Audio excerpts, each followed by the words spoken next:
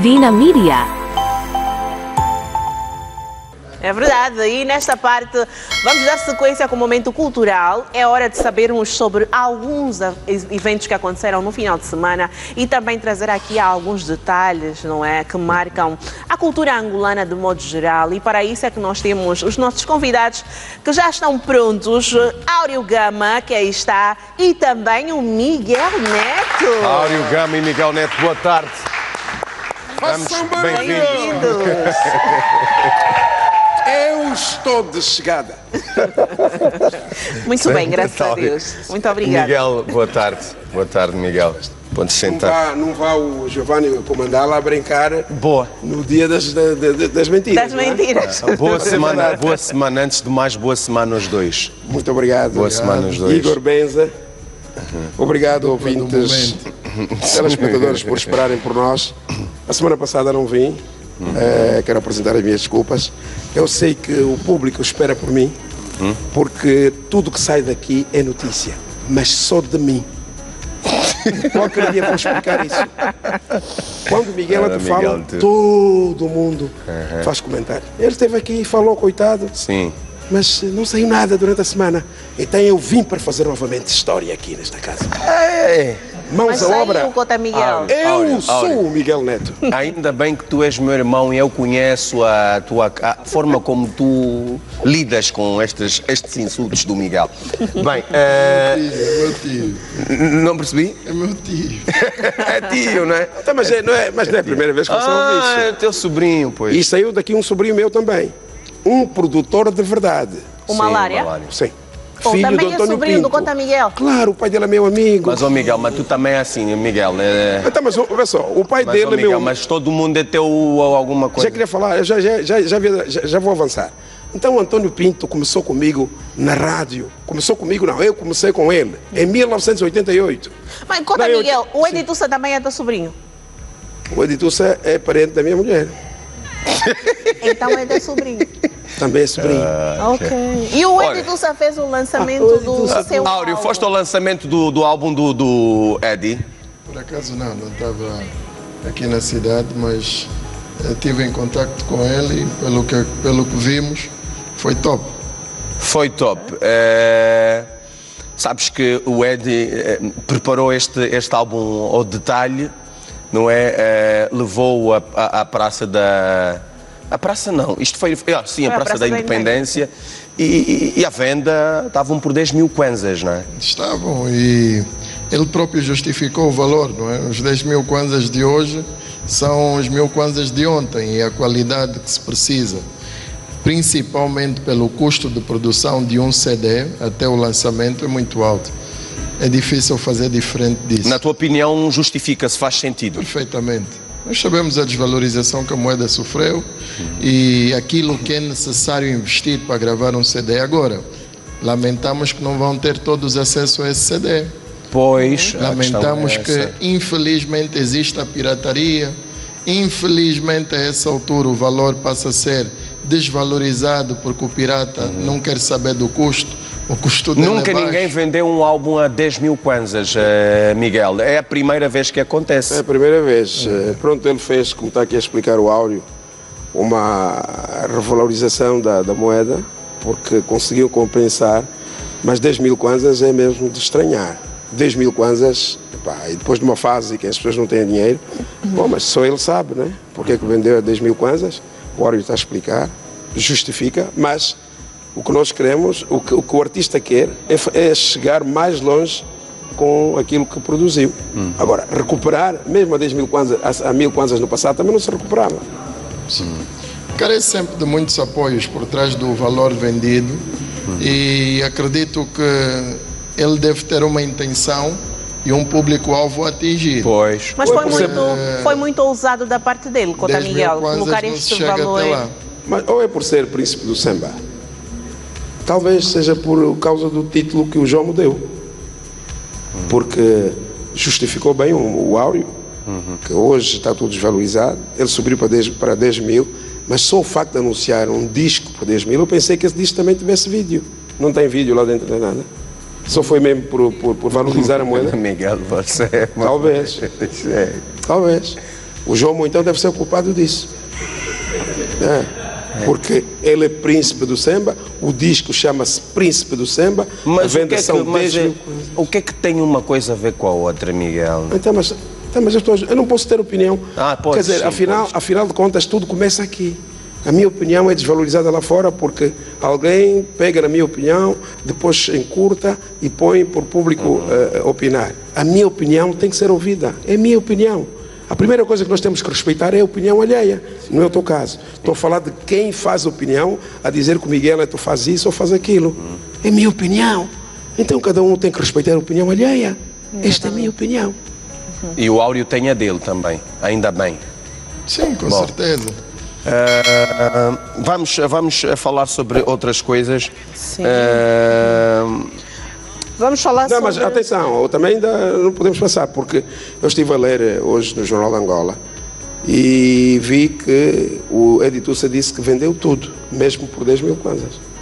Pois, Ele diz isso. pois Bem, Eu- eh, mudando de assunto, eh, mas continuando a falar de música, eh, Áureo, tu que andas muito envolvido nisto também, eu sei que a, a LS eh, está muito, é a LS, não é? Está muito perto de trazer eh, de volta a Angola eh, um grande nome da música brasileira. Roberta Miranda. Roberta Miranda, exatamente. Sim, sim, sim, sim. Eh, antes de falarmos da Roberta, vamos falar sobre este jovem ascensão, uh, Oruan.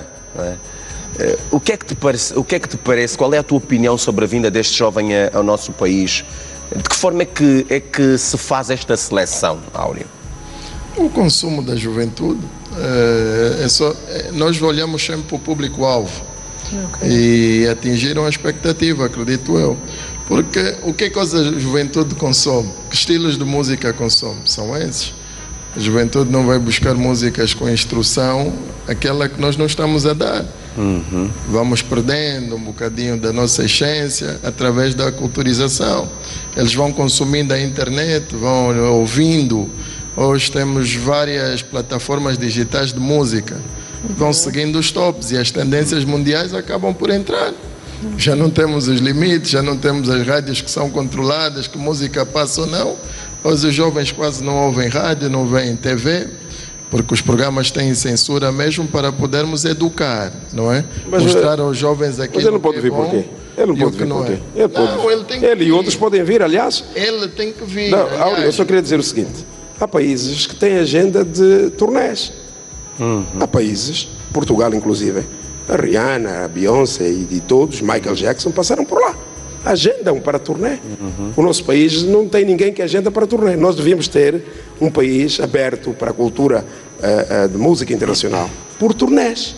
Fazer turnê aqui por África, passa a África do Sul, vem para Angola. E, e os países permitem. Ele, este cantor que veio, que foi convidado por uma, uma empresa, por uma promotora de espetáculos para vir, podia vir por, através de uma turnê. Agora, pá, não sei como é que os artistas vêm aqui, mas eh, eh, eh, os artistas internacionais tocam em todo lado. Eh, uns vão fazer espetáculos também para, para festas e outros passam pelas turnés. Lenny Kravitz foi a Portugal, há pessoas em Portugal que vêm esses artistas, mesmo aqui na África do Sul. Esse, esse, a África do Sul é um país aberto às turnés. Sim, Os mas artistas a, internacionais a passam por pergunta lá. não era se podem ou não, podem ou não vir, mas sim como se faz a Como é seleção. feita a Seleção, pois. Exato, então era isso, nós vamos fazer a seleção sempre olhando para o público-alvo. Pois. Se nós sentimos que as músicas tocam e têm uma boa aceitação, Justifica-se o justifica- investimento. Exatamente, Justifica. como vimos que justificou. Mas, Áureo, vamos olhar para aquilo que foi a realidade deste caso do Ruan, não é? Que é a chegada dele aqui. Será que a produção teve exatamente o devido cuidado? Havia esta noção de como é que seria a recepção dele aqui no país? Eh, Primeiro, eu acho que não se esperava tanto, não é? Porque uma coisa é nós sabermos eh, como é consumida a música, outra coisa é a reação dos fãs. Pois, pois. E, e nós sabemos que mesmo o próprio fã que só foi para ver, quando está ao lado de mais 100 fãs, emociona-se. Então, eu acho que vai servir é de lição para próximos Oruãs. Foi um caos Eh, autêntico. Foi, foi, foi. Aliás, o próprio artista estimula isso. Porque pelo que ele consome, em termos de conteúdo musical, pelo que ele canta, ele já induz a isso. Já estimula a, a gritaria. É, isso não é? Nós somos um A país novo. Nós temos gente nova como fãs. Hoje temos fanáticos. No tempo que nós, eu e outros íamos ver espetáculos, não havia cafã. Você ia ver espetáculo, até o artista chegava a pé. Se houve fã, talvez tenha sido no tempo colonial. Mas depois da independência não houve fãs aqui. Hoje Não já houve fãs, Miguel? Não, havia pessoas que admiravam, até como é esse tu- termo fã. Como é que tu de- de- defines um fã? O- é assim, hoje o mesmo termo aqui fã é deturpado porque você quando diz que é, é, Oh, ele, eu admiro não- aquele cantor, Mas então ele não o quer dizer que é fã fã. é só aquele que faz confusão? Não, ouve, bem. Nós, por causa da independência, até deturparmos o termo. Hoje não dizem que eu sou teu fã. Hoje até já dizem, as meninas dizem, porque têm a liberdade disso. Antigamente dizia-se, eu admiro a tua música. Não dizia que é fã. O termo não dava para a nossa sociedade no passado. Hoje é diferente. Essa gente que passou a ser fã, que são as meninas que gostam e têm a liberdade de expor, já dizem que são fãs e até são fanáticas porque criam condições dessas para os artistas que vêm. Só no tempo colonial é que havia fãs. Porque o, o, o, Só perce- no tempo colonial. eh, Sim, Miguel, eu estou a dizer isso porque Mais uma polêmica que tu estás aí a lançar. Só no tempo colonial é o quê? no tempo colonial, quando o, quando o Roberto Carlos e o Percy Sledge vieram a Angola, os fãs foram vê-los. Até os fanáticos foram. Depois da independência, nós deixamos de ter isso como, como uma, um, comportamento, um, um comportamento sentimental para com o artista. Porque é aquilo que tu gostas, mas muita gente passou a dizer que eu sou teu admirador, não sou teu fã. Esse termo não existia. Se está a existir agora, é por causa desse, destas jovens que têm a liberdade de expor. Percebo Mas- mais ou menos o que nós estamos Miguel- aqui a falar, porque, pronto, quem eram os cantores do, do, Da antigamente. do antigamente, não é? E nós passamos por uma, fra- uma fase em que o angolano elogia outro angolano, não é fácil. Então nós víamos muitas vezes que o cantor era nosso colega, ou era nosso vizinho, dizendo vizinho, sou teu fã. Não acontece, então, mas não propriamente pelo nome. Não, da- eu, da eu quero dizer exato. que esses, por exemplo, que estão a fazer um pouco dos cortes dos vídeos que passam aqui quando eu falo, são meus fãs. Exato. Todos eles são meus fãs. Mas não é Todos muito, eles são- não é são muito essa geração, porque o Não, estou a Anselmo, falar- não, estou a falar da geração. exato, o Estou a Anselmo falar- já veio mostrar o, o contrário. Não, o Anselmo falar foi diferente. resgatar. Eu aqui já estou a falar forma diferente. que antes os SSP também o fizeram, não é? Não, já estou a falar diferente. Exato. Estou a falar que esses que coartam a minha opinião são meus fãs, são fãs do Miguel Neto. Porque eu sou um nível. Miguel. Miguel, Eu sou és, um fã, és fã da Roberta Miranda? Não, eu, eu assisto. És, ah, és admiradora, não é? Sim, eu sou fã do, do Michael Jackson. Sou fã do Nio. Sou fã da Rihanna. No Brasil sou fã do Roberto Carlos. Sou fã do Agnaldo Timóteo. Ok. Era fã do Nelson Ned, Nilton César. E da Roberta Miranda não és fã? Não, via. Mas aprecias. Agora, é mais música para as meninas, para as senhoras que gostam de ouvir o que, elas, o que, ela, o que ela produz, o que ela diz. Não, mas o Miguel Neto aprecia as músicas da Roberta Eu aprecio Miranda. todo tipo de música.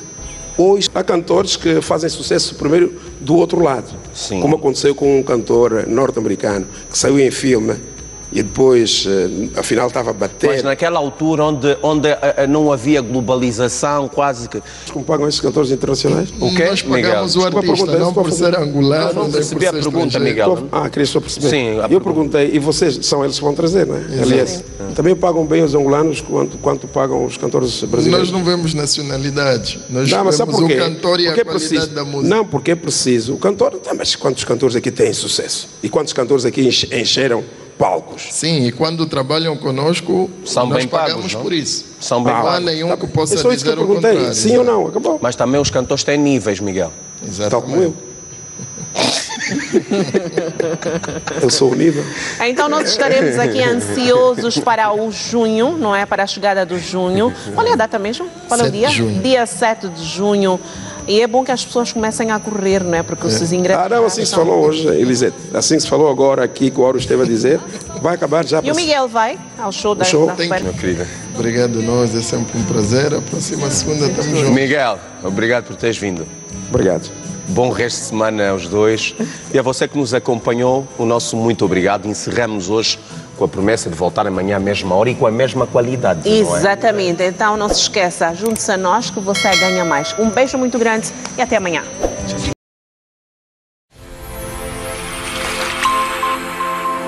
Vina Media